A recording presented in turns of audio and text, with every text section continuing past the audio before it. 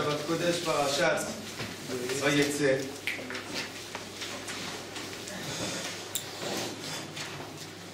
מעשה היה במלך אחד. למלך הזה היו הרבה אנשים, הרבה נתינים, הרבה עבדים. יום אחד, אחד העבדים קם, קם בבוקר ומספר לאשתו, תשמעי, חלמתי על המלך. מה חלמת? חלמתי שהוא עולה בסולם. כן, ו... והוא הגיע לחצי הסולם, ו... וזהו. אז אשתו אומרת לו, נו, ואז מה? לא יודע, זה מטריד אותי. מה אתה אומר? אני אספר לו? מה תרוויח מזה? מה? זה מטריד אותי. הלך למלך, אז בחדר הראשון, בחדר הראשון לחדר השני, מהשני לשלישי, בסוף התקבל בפני המלך והוא אומר, אדוני המלך, חלמתי עליך חלום ובחלומי, והנה המלך עולה בסולם ונמצא בחצי הסולם. המלך אמר, זה מה שחלמת? כן, מבטיח לך, אדוני המלך. מיד המלך מצווה, תביאו בו מטבעות זהב, תשכב על הרצפה וכיסו אותו כל כולו במטבעות זהב. טוב, חזר הביתה, שמח ועליז, מספר לי אשתו, תראי, באמת היה טוב שהלכתי וסיפרתי למלך, היה ממש שווה. מאותו רגע כבר המשפחה עלה ל... מה שנקרא ל... גדולה. כן, טוב, עלה לגדולה, עשירים ושמחים. טוב, אתה יודע, אנשים, תמיד יודעות לשמור קצת את הלשון. זה השכנה שרואה שעכשיו כל הבית הולך, הולך וגדל, ושואלת אותה, תגידי לי, מאיפה, מאיפה כל ההצלחה הזאתי? אז היא אומרת לו, תשמע להגיד לך, בעלי חלום חלום. והוא ראה את המלך, והמלך עולה בסולם, והוא עוצר בחצי הסולם, הלך וסיפר את זה למלך, והמלך כיסה אותו מטבעות זר. משקר? מיד חזרה הביתה ואומרת לבעלה, אתה לא חולם אף פעם אתה? מה, מה זה? מה? היא סיפרה לו מה שקרה. אני יודע מה אני אחלום הלילה. למחרת בבוקר אומר, זהו, חלמתי מה שצריך לחלום. אני חלמתי שהוא עלה עד למעלה בסולם. לך מהר, מהר, תספר את זה למלך.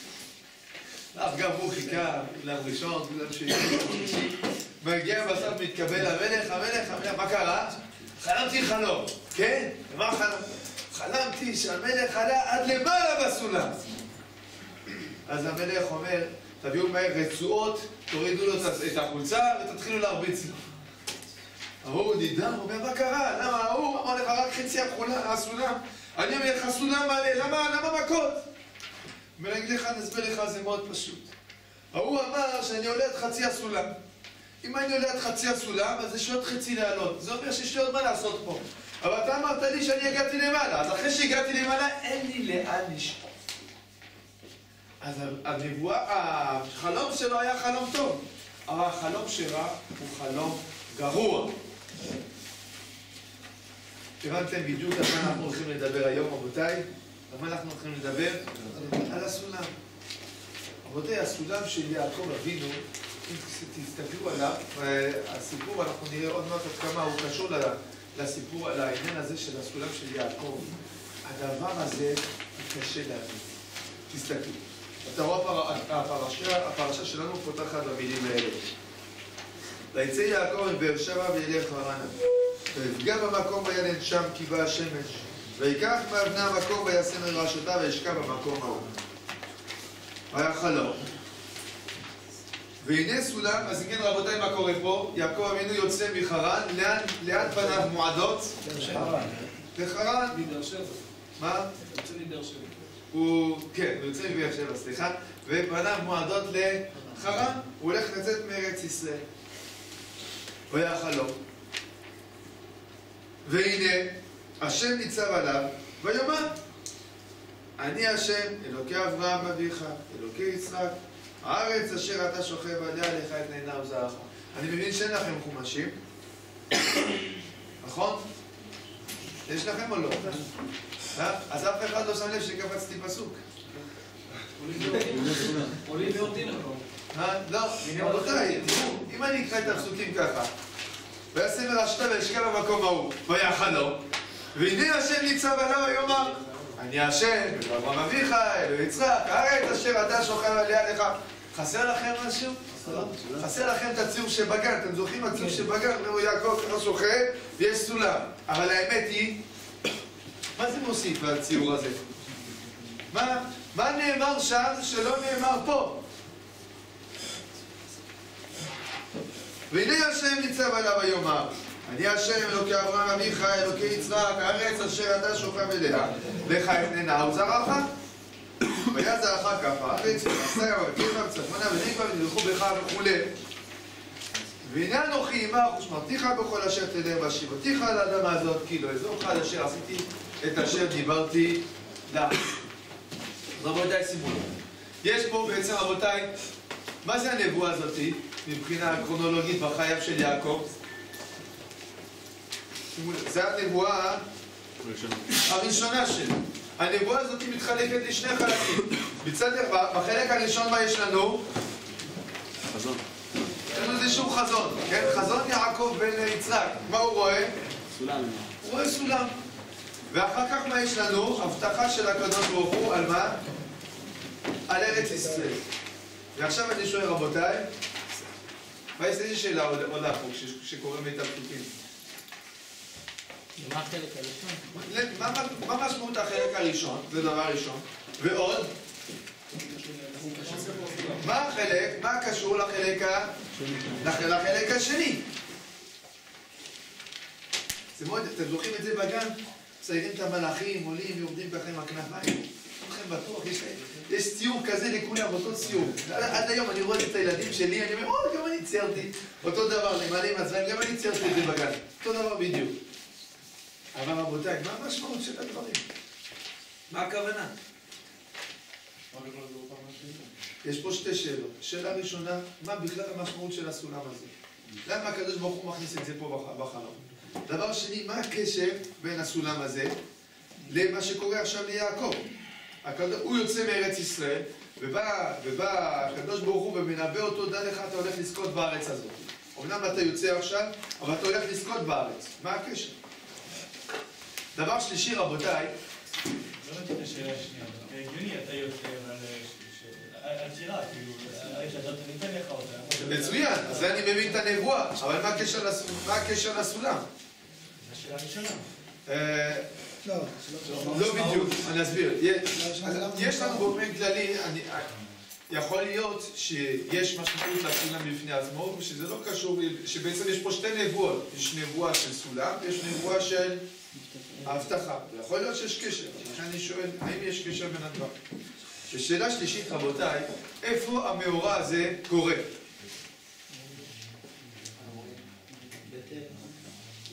איפה זה קורה, רבותיי? לוז, אל, איפה עוד? המוריה. טוב, אז אתם מבינים שיש פה קושי גדול. קודם כל, מצד אחד לכאורה המקום הזה, ואולם, הוא כותב, הוא אומר, נכון? לוז שם העיר לראשונה. מצד שני, מה כתוב? תסתכלו, בפרק, בפסוק ט"ז, ויקץ יעקב משנתו ויאמר, אכן, ויאמר, סליחה, אכן יש אדוני במקום הזה ואנוכי לא ידעתי. ויקרא ויאמר, מה נורא המקום הזה, אין זה כי אם בית אלוהים, לא בית אל, אלא בית אלוהים, וזה שער השמיים. עכשיו, בדרך כלל, איפה זה בית אלוהים ושער השמיים? זה ירושלים, ולא בית אל. מה אומרים לנו חז"ל? שקפצה הארץ, דהיינו שירושלים באה לבית אל. תסבירו לי בדיוק איך ירושלים באה לבית אל. איך זה קרה? הוא קפץ. הוא קפץ? לא, זה קפץ אליו. רבותיי, שימו לב, הוא חזר, הוא היה, הלך לכיוון חרן, פתאום נזכר שמשהו לא התפלל. חוזר אחורה, אז הקדוש ברוך הוא אמר, מה, אני אטריח אותו, לקח את ירושלים, הביא את זה לבית אל. ככה כתוב, במדרש. אבל בפשט יש פה קושי אמיתי, כי לכאורה בית אל זה לא, זה, ירו, זה לא ירושלים. אז מה המשמעות של הדברים? זה בבית אל או זה בירושלים? מה הסיפור הזה של המדרש, שהארץ תפסה? חוץ מזה, איפה זה? איפה הוא, הוא שוכב? הארץ אשר אתה שוכב עליה. מה אומרים לנו חז"ל, אתם יודעים? מקפל כל הארץ. מתקפל כל הארץ, זה- איפה, איך מקפלים את כל הארץ ושוכב על כל הארץ? איך מקפלים? כאילו לוקחים את כל הארץ, ומה עושים עם זה? הכל היה מפלסטלינה. מה? הכל היה מפלסטלינה. ואז כאילו הקדוש ברוך הוא דחף את הכל, ואז למעלה למעלה על השפיץ, ככה הוא שם את יעקב. טוב, הבנתם? צריכים להבין כל הדברים האלה, כן? אבל באופן כללי, בעצם, מה הקשר בין בית אל לבין ירושלים? מה המשמעות של הדבר? כן, רבותיי, שימו לב, יש לנו בעצם שאלה על המשמעות של הנבואה, כן? הסולם והנבואה, ויש לנו בעצם המקום. המקום הוא בעייתי, גם ככה אנחנו לא מבינים מה קורה פה עם, ה... עם השאלה הגיאוגרפית. איפה הדברים בדיוק? האם בבית אל, האם בירושלים, בשניהם, לא בשניהם, קיפל את הארץ, מה בדיוק המשמעות של הדברים. אז כהרגל- כהרגלנו רבותיי, אנחנו נפנה. למדרש. רבותיי, בואו נסתכל במדרש, איך המדרש מתייחס לשאלות האלה. אז המדרש רבה, פרשה ס"ח, עוד י"ב. אומר המדרש, והנה סולם, זה הכבש, הכבש, סליחה. מוצר ארצה, זה מזבח. מזבח אדמה תעשה לי. קודם כל רק נסביר מבחינת ההבנה, אתם יודעים שהמזבח היה אה, אופן כזה, נגיד, ואיך עולים למזבח? יש כבש, בסדר? בסדר? משהו כעלייה. ותמיד יש איזשהו הפרש בין המזבח והכבש, זה נקרא עמד מקסים. לא משנה עכשיו. עכשיו, יש, יש כבש. אז אומר לנו המדרש, מה זה הסולם? שימו לב רבותיי, איך זה נראה סולם? גם ככה, נכון? אז הסולם זה דומה למה? לכבש. וראשו מגיע השמיימה, אלו הקורבנות שריחן עולים לשמיים. אז פה יש איזה פרה, ככה, ויש... זה, אז זה הכוונה שמיימה. טוב, אז מי זה המלאכים? והנה המלאכים, מלאכי אלוקים, אלו כהנים גדולים. עולים ויורדים בו, שהם עולים ויורדים בכבש. והנה השם ניצב עליו, ראיתי את השם ניצב על המזבח. אז זה ההסבר הראשון של המדרש. ההסבר השני של המדרש, רבנן פטרין לבסיני. חכמים אומרים לא, זה לא הפירוש, אתה לא צודק, הסולם זה לא המזבח, אלא הסולם זה סיני. ויחלום והנה סולם זה סיני. למה רבותיי, איך זה נראה הר? תסתכלו, הר. איך זה נראה הר סיני ככה, נכון? אז ואז בעצם פה, הדבר הזה זה דומה למה? שימו לב. זה סולם, נכון? אז זה הר סיני. מה אתם צוחקים? נו. והנה, מה לה... עכשיו, וראשו מגיע השמיימה, וההר בוער באש עד לב השמיים. והנה מלאכי אלוקים, אשר רכב אלוקיים ריבותיים אלפי שניים. דהיינו, הקדוש ברוך הוא, כשהוא ירד להר סיני, הוא ירד עם מה? עם כל המלאכים. אתם זוכרים ממני ככה. ולמדנו לנביאים שנקראו מלאכים. דכתיב, ויאמר חגי מלאך השם, מלאכות השם נא. והנה מלאכי אלוקים זה משה ואהרון. עולים, ומשה עלה אל האלוהים. ויורדים, משה. ויורד וירד משה. בסדר? איפה אהרון? מה? גם אהרון עלה רק כדי חצי. אז הוא נעצר, אבל משה עלה וירד. זה מהסיפור הקודם. זה מה שעשיתי, כן. סולם בסיני בגימטריה זה אותו דבר. איך אתה עשית את זה? סולם בלי בה. אה. מה המדרש רוצה רבותיי? מה המדרש רוצה? אל תתבלבלו, אה? יש פה שתי דעות. דעה ראשונה זה כבש. דעה שנייה זה סיני. טוב, מה, איזה שאלה, בואו נתחיל, תמיד רבותיי, איזה שאלה מטרידה את המדרש? יפה, יפה, מצוין. מה המשמעות של הסולם? כלומר, המדרש מתקשה. מה הסיפור הזה של הסולם? מה זה מוסיף? מה עניינו? מה תוכנו? כן, מסבירים את הקשר של בני אדם עם אלוקים. זה בעצם מה שהסולם אומר, על- ידי המזבח, על ידי הר סיני. יפה מאוד. אז אורל אומר לנו, מה המשמעות של הסולם בעצם? מה זה הסולם הזה? זה מוצב ארצה. וראשו מגיע שמיים. ובעצם אומר לנו המדרש, מה, מה בעצם הסולם הזה מסמל? איך האדם מתקשר לקדוש ברוך הוא. יפה. אולי הכוונה שכשיעקב יצא מהארץ, אז הוא, הוא ניחם אותו, אמר לו, תחזור לארץ ועוד, ועוד יהיה, עוד אה, קורבנות בסיני. קורבנות בסיני, עוד- יפה, יפה, אני שומע, זה הסבר זה- נחמה על- שם העתיד. כן. אולי קורבן זה בני אדם לאלוקים, והר סיני זה דת הקדוש ברוך הוא אלינו. אה, אני שומע, אבל אתה, אתה, בסופו של דבר, המדרש אומר שהעולים ויורדים זה משה ואהרון. זאת אומרת, אתה צודק שחלק אומר שהקדוש ברוך הוא ירד עם המלאכים. אבל העולים ויורדים זה משה ואהרון. אבל, נכון, יש בזה איזושהי... כן. רצה לומר משהו? זה עניין של תורה ועבודה. יפה, יפה מאוד. אז אתה הולך בכיוון של אורן, נכון? ואתם משלימים אחד את השני, ומה אתם אומרים בעצם? מה אומרים רבותיי? אומרים, הסולם הזה, מה זה הסולם? מצד אחד יש לנו פה את מי? את יעקב, ומצד שני יש לנו? השם. השם. ובעצם השאלה זה מה? איך עולים. בסולם הזה? איך עולים בסולם הזה? איך בעצם יעקב מגיע למי? לשם. אומר לנו המדרש יש שני דרכים. דרך אחת, דרך שנייה. מה עם שני הדרכים? רבותיי, כולכם הייתם בבני עקיבא, לא? תורה ועבודה. כן, אז יש לנו תורה, יש לנו עבודה. מה זה סיני, רבותיי?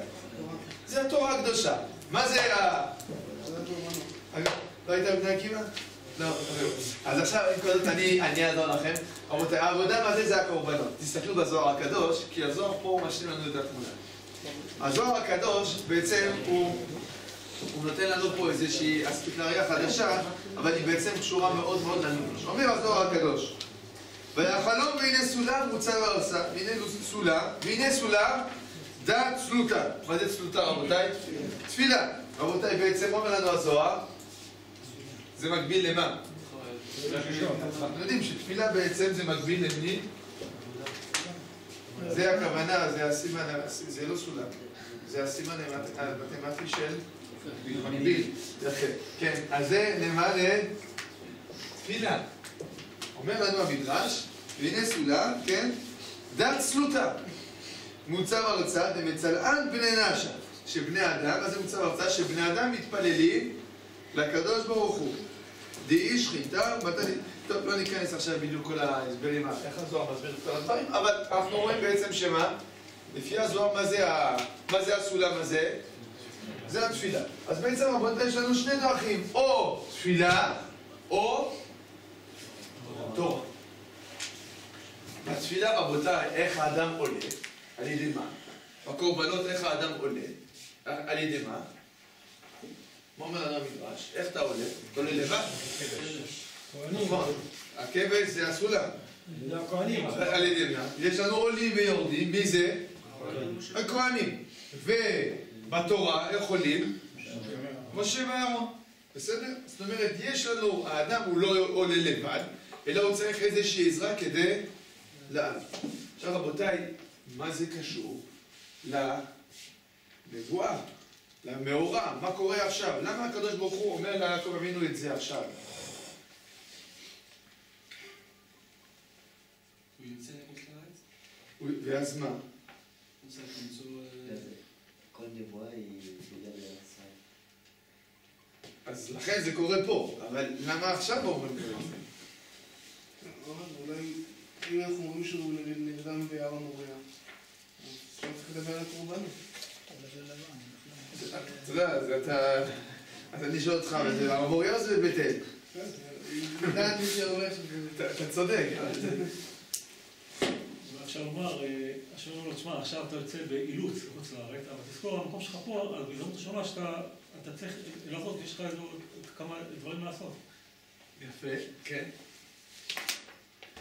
כן. אולי ההבטחה של ה- של הארץ וזה, היא תלויה בדברים האלה, כאילו, שיעקב אה, מאוד. רצון. גם כשאתה יוצא, תזכור, תמיד יש לך שתי דרכים להיות קשור לאנשים עליהם. אני חושב, כולכם אמרתם נכון, אני חושב שיש פה משמעות חשובה מאוד דווקא לדברים נזכיר את השם סליחה, של עמי. אנחנו בעצם, יעקב אבינו, איפה עכשיו הוא נמצא? הוא הולך לצאת. ובעצם, מה הדאגה שמקוננת בליבו? אני מאבד קשר. יוצא מארץ ישראל, אני מאבד קשר, הקדוש ברוך הוא. הקדוש ברוך הוא אומר לו, דע לך, דע לך, תמיד יש מה? תמיד יש סולם. יש סולם שמחבר בינך לביני. עכשיו רבותיי, זוכרים את המשל שאמרנו על המלך? למה סולם? למה לא חבל? חבל זה גם קשר. אי אפשר אי אפשר לעצור. מה? יש עוד אי הרבה אפשר לעצור. אה, נכון, בסדר גמור. אני אומר שהסולם בעצם, מה הוא מבטא? שיש שאיפה, יש לאן לשאוף. זה לא רק קשר בעלמא, אלא יש כל הזמן לאן לשאוף, לאן לשאוף. והקדוש ברוך הוא אומר ליעקב אבינו, אתה יוצא, דע לך, אתה יכול לשמור על קשר, ולא רק קשר, אלא כל הזמן להתעלות. מהם הדרכים, תורה ותפילה. אז מה זה הירידה? מה? חבל זה רק קשר. חבל, לא, אני לא יודע חבל, אבל כן. הוא יכול לעלות. אה, בסדר, זה אותו דבר. זה- חבל שמתאפסים עליו, זה סולם. אבל הסולם הוא גם לעלייה וגם לירידה. אה? יש פה גם עלייה וגם ירידה, מה מסמל את הירידה? או, עוד מעט נראה. עוד מעט נראה. שאלה מצוינת. בסדר, רבותיי, עכשיו, עם כל זאת, איזושהי... אה, איזושהי... העלייה והירידה הזאת היא תלויה במה? אומר לנו המקרא, במה זה תלוי? לא רק. נכון, תפילה ועבודה, אבל מה עוד? האדם עצמו. האדם עצמו. אבל זה לא בדיוק מה שאומר אומר המדרש. מי זה העולים ויורדים בו? הכהנים, ה- התלמידי חכמים. מה באמת העניין שלנו. מה זה אומר לנו? בסופו של דבר, אדם רוצה לעלות, אבל מה? הוא צריך לדרך. הוא צריך איזה אמצעי. למה? למה הוא לא יכול לעלות ככה מיד? כי יש לך שלבים מסוימים. כמו יש שלבים מסוימים, זה נכון, כל זה. אולי הייתי אומר עוד משהו, זה רעיון שחזרנו עליו כמה וכמה פעמים, אבל הוא הוא חשוב. יש דברים שאי אפשר ללמוד עם השכל, צריכים לחוות אותם.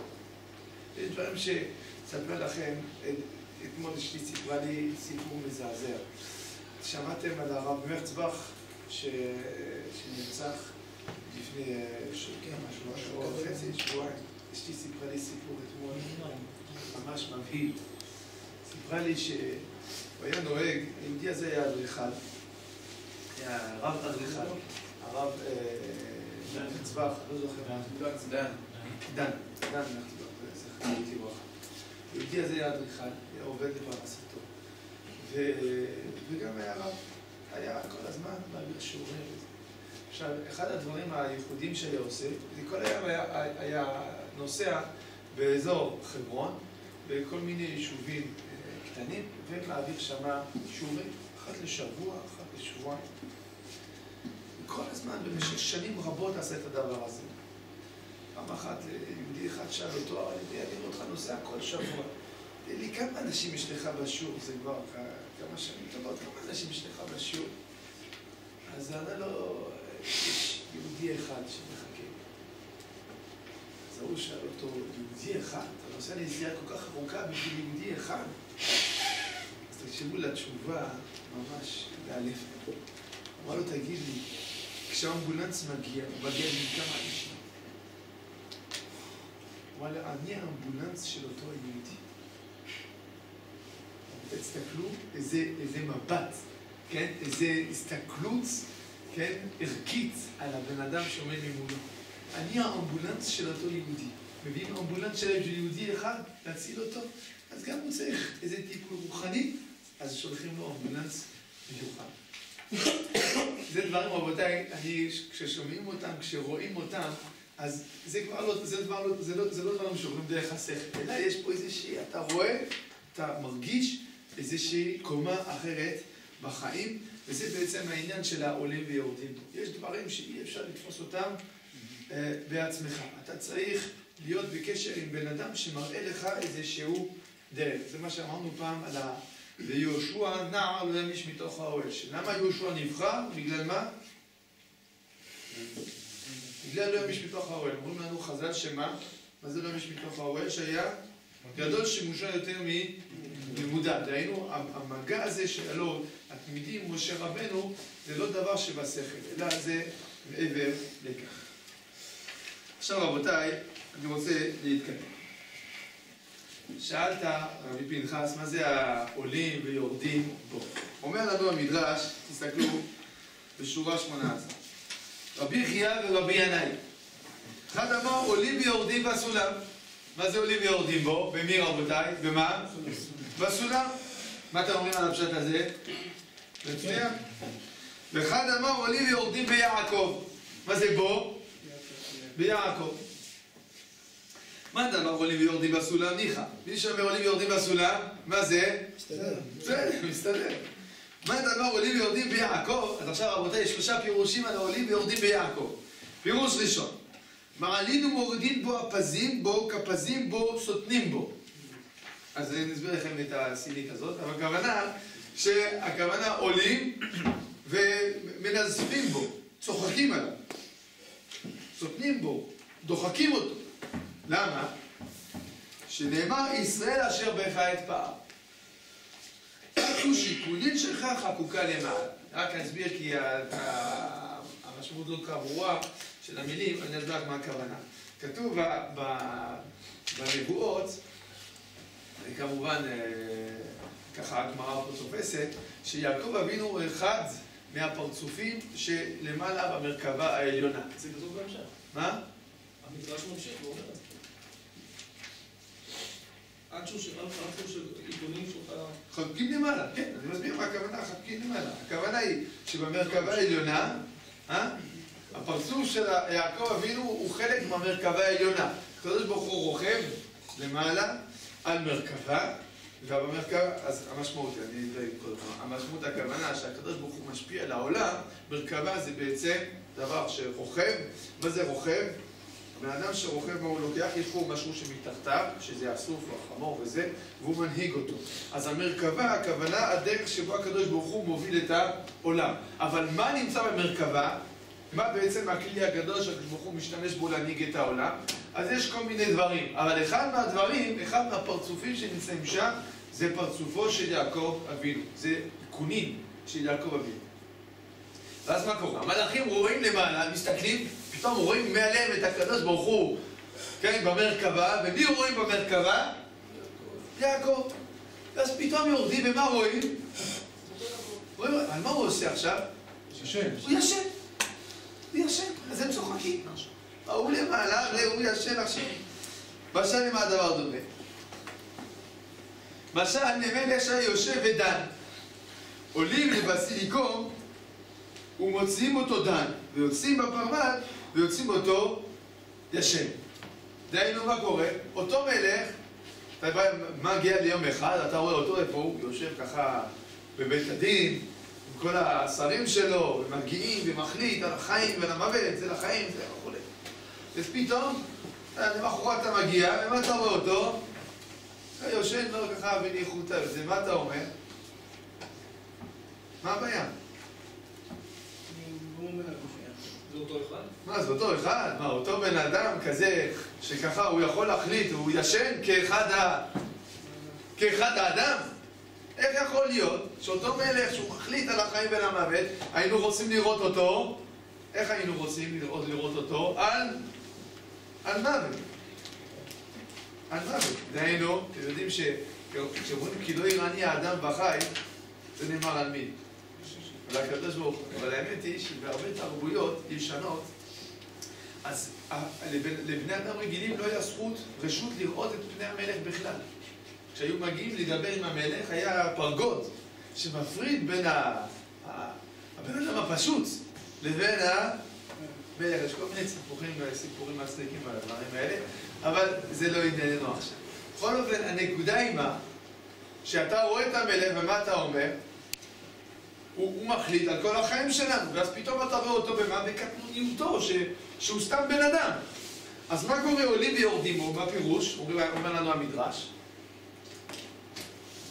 עולים ורואים את יעקב, נכון? ורואים שמה שהוא במרכבה העליונה, מה זה אומר? רבותיי, מה זה אומר שהוא שותף הקדוש ברוך הוא. שהוא שותף לקדוש ברוך הוא, מנהיג את העולם, הוא דן את העולם. ואז מה קורה? יורדים ומה רואים אותו? זה חופיש. אז הם צוחקים. בסדר? אז זה הסבר ראשון, עולים ויורדים בו. הסבר שני, דבר אחר, למעלה כל מי שהוא אומר זכותו עולה, חובתו יורד. למטה כל מי שהוא אומר זכותו יורד, חובתו עולה. מה הכוונה? נסביר בפשט, מה הכוונה של המילים. המילים, הכוונה היא כזאת. למעלה בשמיים, מי שאומר זכותו של יעקב, מי שנאבד זכות על עם ישראל, מה קורה? עולה. הוא מלמד חובה, מה קורה? יורד. למטה, דהיינו על הארץ, מי שאומר זכות יורד, מי שאומר חובה עולה. כידוע, כן? כדי שאומה בעולם תתגדל, מה היא צריכה לעשות? להתנגח עם עם ישראל. ככה עולים אומות. תשימו לב, אף פעם עם ישראל, כל, ה, כל הגלויות היו תמיד במעצמה הכי גדולה. עם ישראל אף פעם לא השתעבד לעם קטן. הוא תמיד השתעבד ליוון כשזה היה האימפריה. לפרס כשהיה האימפריה. למצרים כשזה היה האימפריה. תמיד עם ישראל השתעבד לאימפריה. אז לכן אם בן אדם רוצה להיות אימפריה, מה הוא צריך לעשות? בדיוק. אז זה מה שכתוב פה, כן? שלמטה, מי שמתנגד אליו, מה עולה? מה קורה לו? עולה, עולה לגדולה. ומי שאיתו, החברים שלנו, בדרך כלל הם לא מרוויחים מזה הרבה. אז זה מה שקורה. אז זה ההסבר השני, אז זה עולים ויורדים בו. הסבר שלישי עולים ויורדים בו. עולים אותם שליוו אותו בארץ ישראל, ויורדים אלו שליוו אותו בחוץ לארץ. רבותיי, זה, זה אתם כולכם מכירים, זה מה שכתוב ברש"י, כן? המלאכים עולים ויורדים, מלאכי ארץ ישראל, מלאכי חוץ לארץ. טוב. אז מה זה? הסולם? מה? בוא השלישי זה הסולם? לא? כולם, לא, לא. כולם זה בו ביעקב. אפשר לעזור להכיוש. לא אפילו בכלל אין לו משמעות. אפשר לעזור להכיוש שלי. השני זה, זה עולים ויורדים בו, הכוונה שמי שמתנגד או מי, ש, או מי שעוזר. מי שעוזר לעם ישראל יורד, מי, שמתקדם, מי שמתנגד לעם ישראל עולה.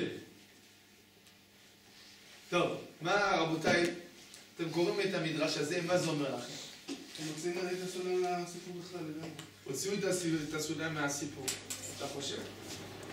זה חז"ל, זה מאוד פשט. המשמעות. מה? מה השאלה שמפריע להם? מה מטריד אותם רבותיי? על מה הם עולים להיות? מה זה עולים ויורדים בו? כן, אם זה רק הסולם, אז מה השאלה? כלומר, אתה אומר עולים ויורדים בסולם, אז מה אני שואל את עצמי? זה מאוד נחמד בשביל הגן, אבל מה זה, מה זה קשור אלינו בכלל? מה זה אומר לנו? אז ברור שהעולים ויורדים בו זה מסר למי? ליעקב. זה הכוונה, עולים ויורדים בו ביעקב. כלומר, הדבר הזה זה לא סתם ציור, אלא זה משהו שאמור להגיד משהו ליעקב אבינו. מה זה אומר ליעקב אבינו, רבותיי? אז מה התשובה של המדרש?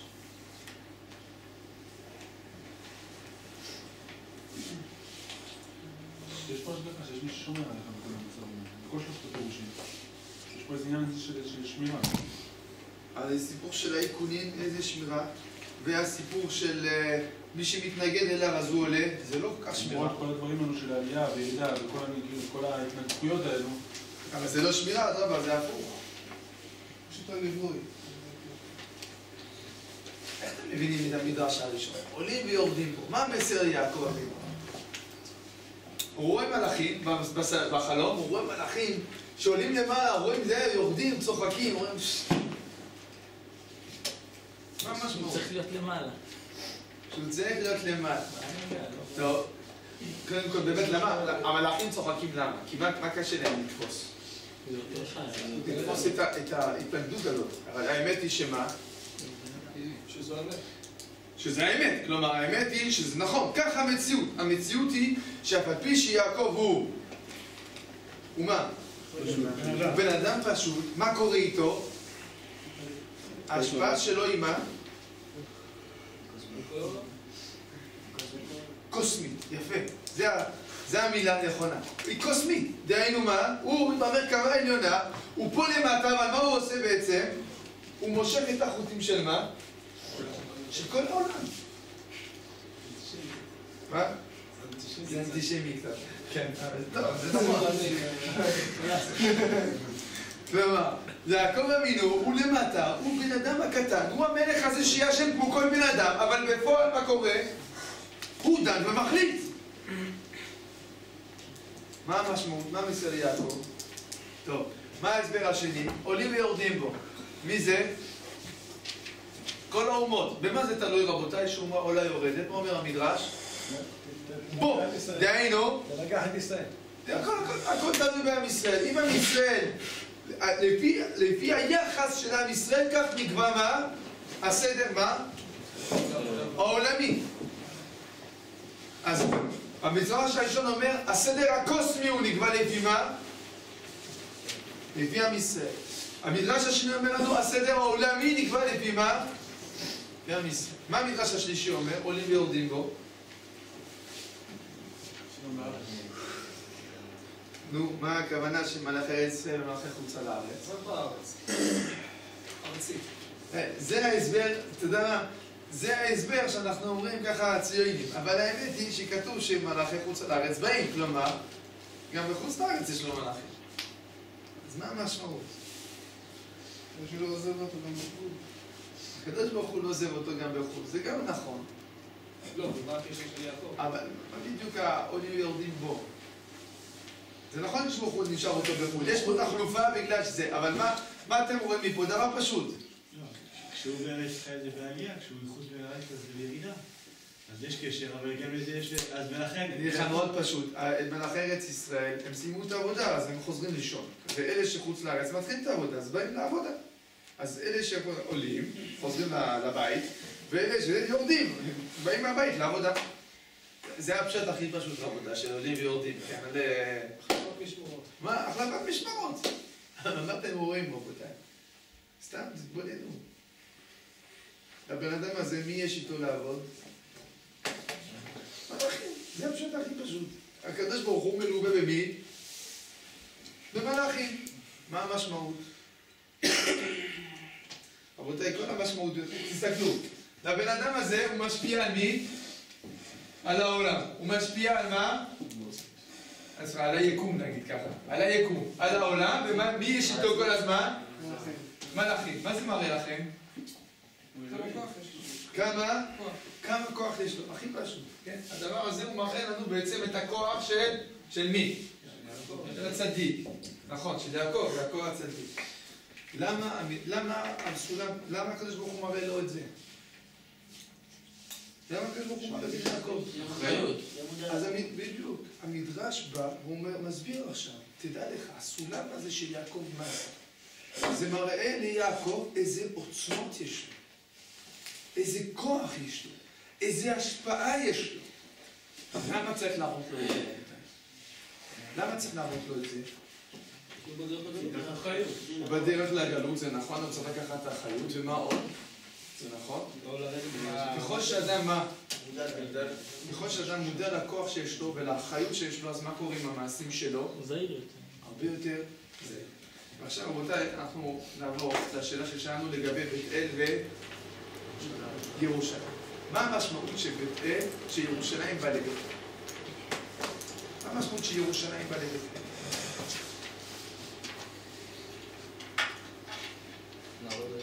שהמרכז ה- של כאילו המושב הקשם בעולם, שזה כביכול בירושלים, זה גם אה, זז מדי פעם. זאת אומרת, לפעמים צריך את זה במקומות אחרים, אז אה, יפה, יפה. הוא לא נשאר תקוע בירושלים. יפה. רבותיי, למה בית אל? מה הפירוש שכל הארץ התקפלה תחת יעקב אבינו וזה... מה הפירוש? בפשט. מה הפירוש בפשט? פשט, פשט. הוא אחראי על כל הארץ. כתוב שהארץ אתה שוכב עליה, לך את עניין זרעך. מה זה אתה שוכב עליה? כל ארץ ישראל. מה זה קשור בפשט? קניין. זה שהוא ישן. שהוא לא, שהוא על כל ה... לצעוק חיבור, כולי שוכב. לא, אני אגיד לכם משהו מאוד פשוט, רבותיי, סתם מציאותי. מה זה בית אל? מבחינה גיאוגרפית בארץ ישראל. נכון, זה דבר ראשון, מאוד. מה זה זה? בית אל זה מרכז הארץ. דבר שני, זה המקום שאברהם או בנה במדבר? גם נכון, גיאוגרפית אני מדבר עכשיו. זה מה? זה הר או זה מישור? זה הר, איזה הר זה? זה הר הכי גבוה. רבותיי, יש בבית אל, יש מקום שנקרא בבית אל, איך זה נקרא? ארטיס. הארטיס, יפה. אתה עולה על הארטיס, ואז מה אתה רואה שם? כל ארץ ישראל. יש שם אחר, מה? נחלת יעקב. הארטיסט. נחלת יעקב. נחלת יעקב, יפה. אז יש שם איזה דוד מים גדול, אתה עולה על הדוד, ואז מה אתה רואה? יש לך כל הכיוונים, ומה אתה רואה בעצם? את כל? את כל ארץ ישראל. מה? לא, זה, מהחרמון אתה לא יכול לראות כל ארץ ישראל, אבל מבית אל בעצם יש לך, אתה יכול לצפות על כל ארץ ישראל. אז מה הפשט של המדרש שקיבל את כל הארץ? כשאתה שוכב על בית אל, בעצם אתה צופה על מה? אתה צופה על כל הארץ. זה הפשט הכי פשוט מבחינה גיאוגרפית, כן? לשכב על בית אל, בעצם, אם אני שואל מה זה בית אל, זה הסימן של מה? זה הסימן של מה? שליטה? של שליטה על מה? על כל הארץ, יפה מאוד. רבותיי, בית אל, המשמעות של בית אל, המקום בית אל, מה זה? ארץ ישראל. שליטה על ארץ ישראל. עכשיו, מה זה הר הבית, רבותיי? מה זה הר הבית? זה הקשר עם מי? עם הקדוש ברוך הוא. עכשיו אומרים לנו המדרש שבית אל נפגש עם הר הבית. מה זה אומר? שהשליטה על הארץ היא תלויה במה? מה הקשר של הקדוש ברוך הוא? כשהמדרש אומר לנו ש... וזה פשט הפסוקים. אומר לנו יעקב אבינו, אומר לקדוש ברוך הוא, דע לך שנותן את הארץ שאתה שוכב עליה. אבל מה הוא מראה לו באותו זמן שהוא נותן לו את הארץ שאתה שוכב עליה? מה הוא מראה לו? מה הוא מראה לו רבותיי? זה מתחיל במה? בסולם. לפני שהוא מדבר איתו על ארץ ישראל, מה הוא מתחיל במה? בסולם. הסולם הזה רבותיי, מה זה תורה ותפילה? מה זה בעצם? אם נסתכל את זה מבחינה גיאוגרפית, תנו לי ביטוי גיאוגרפי לדברים האלה, מה זה? זה ירושלים. ואחר כך מה קורה? הוא מבטיח לו את מה? בנבואה, זה החלק הראשון של הנבואה. החלק השני מה זה? הארץ אשר אתה שוכב עליה, לך אתננה וזרעך, מה זה? זה בית אל. אבל מה צריך? מה צריך? שבית אל וירושלים יהיו ביחד. מה? טוב, תגידי לי את זה ככה, אין בעיה. את זה שזה מה שכתוב בתורה. כן, אז, אז, אז בית אל וירושלים צריכים להיות ביחד. לכן רבותיי, בנבואה הזאת יש פה שני צדדים. הצד הראשון זה מה? הקשר ריבונו של עולם. הצד השני זה מה? הזכות על הארץ. אומר לנו המדרש, מצד, אז הארץ אשר אתה שוכב עליה, ומצד שני באותו, בד בבד מה אומר יעקב? אין זה כי אם בית אלוהים וזה שער השמיים. אותו דבר. הדברים חייבים להיות קשורים אחד לשני.